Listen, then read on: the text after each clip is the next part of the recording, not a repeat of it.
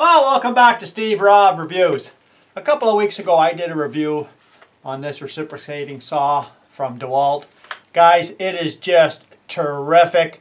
I've been using it since then. You know what? It's all you can be right here. I like it. I like it a lot. So what did I do? Went out and bought this right here. If you'd like to see that uh, review of the uh, reciprocating saw, I'll put a link down below for it. And you can see for yourself how it actually outperformed a corded industrial reciprocating saw. So I decided to pick this up. Guys, I tell you what, I am getting some good smoking deals and this here was just under $90 and it's a DeWalt 20 volt, four and a half inch. It says actually four and a half to five inch angle grinder and it is the uh, DCG 412B and of course the B just means that it's a bare tool only and uh, I do have the batteries and charger already so for the price. You know what? So what I'm expecting this to be just as good. I've never tried one of these before. Uh, I have used other brands and they seem to work out fine. I've never tried the DeWalt. This is under 90 bucks. I don't know what to expect I'll show you the grinders I have that are corded and uh, what brands I do like that are corded too. So let's take a look at them first. So here's my uh, corded grinder rack and this is a, uh, 7 inch no name. This is a Makita, has to be 35 to 40 years old. This is a uh, no name from uh, Crappy Tire. This is a Makita. Actually I bought these two in a package together years ago. This is another no-name brand here. And uh, on the end here, I've got a floppy disk on it here. And this one here is just your regular grinder. And then this one here, I got a cutoff wheel. So I have all different various types of wheels for them. What I'm going to do here is I'm going to get a cutoff and a grinder. And we're going to compare them to the DeWalt 4.5 inch cordless 20 volt angle grinder and see if it is just as good. I'm hoping it is for the money. I'd be uh, surprised if it's not. So let's just do a little bit of testing and let's pick out say the grinder first and we'll grind two pieces of metal and we'll see how it performs. Okay guys, I ran into a bit of a snag here. I don't know what's going on. I took the thing out of the box. I, I want you to read something right, see if I can show you right there. You see where it shows what's inside the uh, kit? See where it says wrench? Guys, to show you what was in there. Okay, it was not one of these. This is my own. I have a universal one where the uh, two pins can go in and out for any disc, right? This is the wrench that they put in there. And I can't figure out where it's supposed to go. Like there's nowhere on there that has this size. So I have no idea what this is all about. All I did was I, I put the disc on. They actually give you a disc in the box. And uh, a nice feature that I have never seen before is this right here. It's got a little bit, I'll just undo it here first because it's kind of tight. But it's got an adjuster here for your guard and it's no tools required.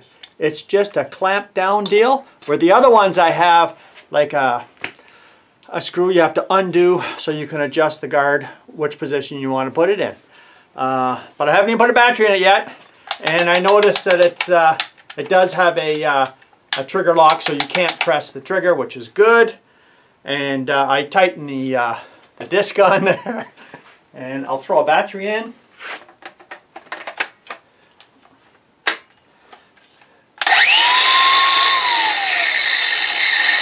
And we're going to try it out and see. But you guys let me know what you think this is for. And by the way, I just show you uh, first before I get started, uh, the only discs that I buy, and I buy them in a box of 12, is these here.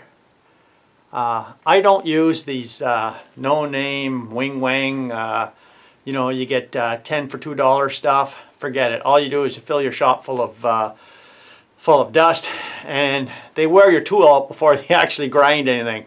So these ones here, yeah, they're a little bit more expensive, but uh, You buy a box of 12, gonna last you at least 12 years, I guarantee you.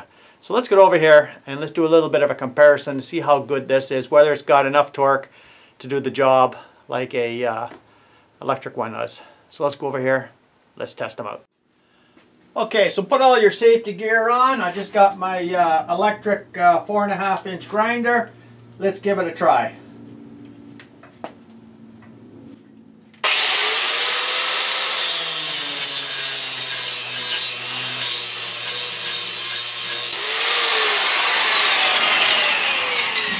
Okay, so I just leaned into it just like you would normally. And uh, let's take a look now at the uh, DeWalt 4.5 inch cordless 20 volt grinder and see if it can maintain the same torque levels as a uh, electric unit.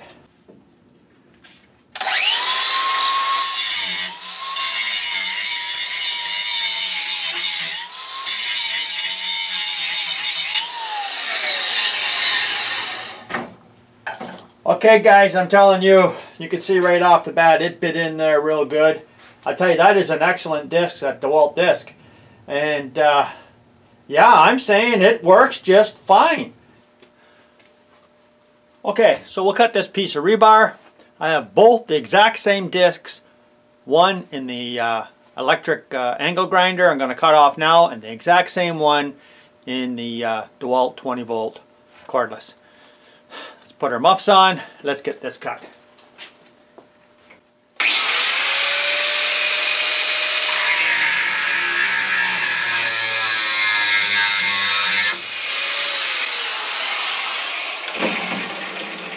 Well, that cut through no problem. Let's just try the DeWalt now.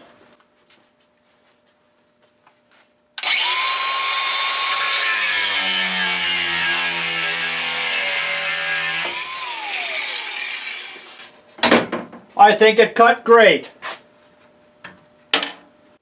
Okay, so what do I think about this uh, grinder? Guys, I think it's another great tool by DeWalt. I think it's terrific, exactly what I need. Tell you the truth, they're very close in weight. It's a little bit longer, it's not as compact, but you know what? I can handle this no problem. I have no idea what that wrench is for, but I will tell you, that this disc, I don't know if you notice or not, it really bites in nice. So I don't know who's making these for DeWalt, but these are a good disc. And uh, I always do something to my, uh, my tools as soon as I get them. And this is it right here. I always put, like this was in black. You'd never see that in a million years. It should be highlighted. And you could see right there. I put another arrow on there. If you guys are wondering what I use, I did a review a long time ago on these. Uh, if you want, I'll put a link down below if you want to see that as well. And uh, these are terrific for marking on stuff like this. Guys, I'm saying I like this thing for 90 bucks. I mean, you can't go wrong.